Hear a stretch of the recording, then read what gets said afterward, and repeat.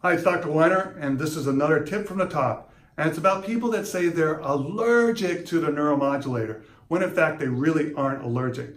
So when we mix up the neuromodulators, which include Botox, Dysport, my favorite, and Jeuveau, we usually use preserved saline. The reason why we do that is because preserved saline is a little more comfortable during the injection. However, the preservative is benzyl alcohol. And if you look it up, it's about 0.2 to 0.9% of the general population is allergic to benzyl alcohol.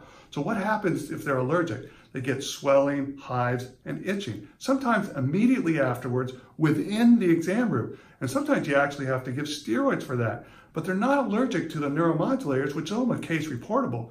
So how do you test it? You take a little bit of the preserved saline and you put it in their forearm. If they react like they did in the face, like for the injections, then they're allergic to the preserved saline. So how do you fix that? Well, you give them non-preserved saline when you reconstitute it in the future, and they'll fly through the procedure. So that's another tip from the top. If they're allergic to the benzyl alcohol in the preserved saline, use the non-preserved saline. Thanks.